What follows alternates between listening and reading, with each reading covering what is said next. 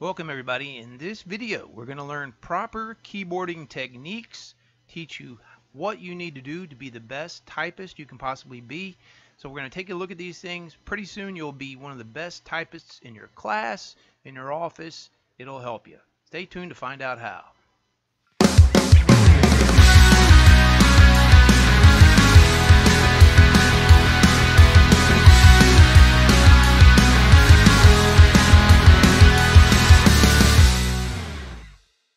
Let's take a look at some keyboarding techniques that we need to look at for proper keyboarding techniques is that we're going to have to have correct posture, our correct arm and hand positioning, and then finally correct keystroke techniques. All right. So look at this. First of all, our posture. We can take a look at this blonde-haired guy here on the right-hand side. Things that we notice about him, you know, he's sitting up straight. His spine is straight. Uh, leaning just slightly forward. He's centered in front of the keyboard. He's not off to the side one way or another. He's not slumped down. Notice the keyboard at the edge of the table. You know, he's sitting up straight and, and he's a comfortable distance from the keyboard. His chair is not pulled up all the way to the table there. Otherwise, that would stick his elbows out. We don't want that. So he's, he's a decent distance away from the keyboard to where it's comfortable, where his arms, and he does kind of have long arms there, so he's pushed back a little bit so his arms are not out to the side. That way he'd have to turn his wrist. So you don't want to do that.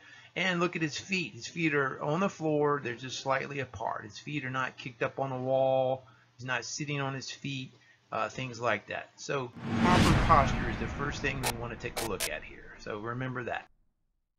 Our next thing, arm and hand positioning.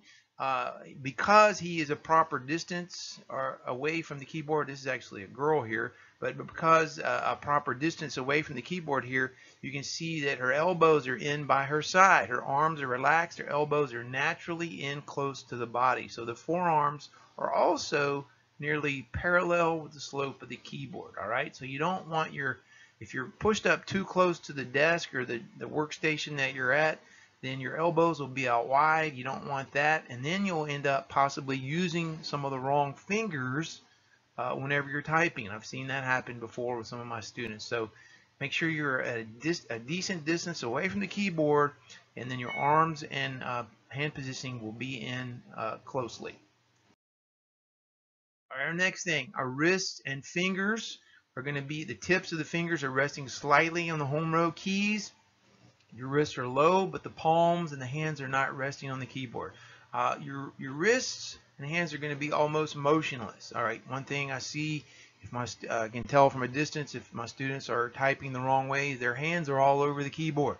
All right, a lot of students will end up wanting to use maybe just their um, their their index finger, pointer finger, and their middle finger a lot of times uh, for a lot of the keys and, and, it's easy to tell all right? So you should your your hand should not be all over the keyboard. This should be you know just moving slightly to, to, to, move up and down to get to the keys on whichever row they are all right? But you're always coming back to the home row keys all right? Another thing for proper key, key stroking technique the tips of your fingers. You don't need to pound on the keys I've seen uh, students make a lot of noise pounding on them like they have to hit it really hard for it to make it work. You don't have to do that. Just a gentle uh, down and in pecking motion. It should be enough to make that uh, key type what you want it to type. Okay. So if you do all of these things, you should be able to learn how to type faster with repetition and practice, right?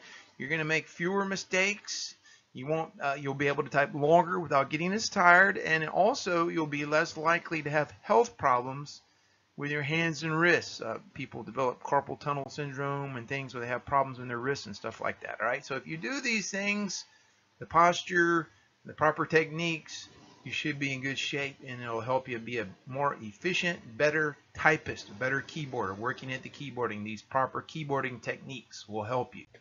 So if you practice these proper techniques, you can be one of the best typists in your entire class, in your office, wherever you're working, or just for your own, uh, just for your own better, better typing ability. So good luck to you. I hope this helped you learn how to become a better typist. Practice these things. Practice makes practice. You know, you can't get to be a better typist without practicing. But the more you practice, the better it'll come to you and pretty soon you'll be flying through things your lessons your work that you're doing and it'll make things so much easier for you good luck to you If you haven't subscribed to my channel, please do so. Also, give me a thumbs up on this video. And good luck to you have a good day.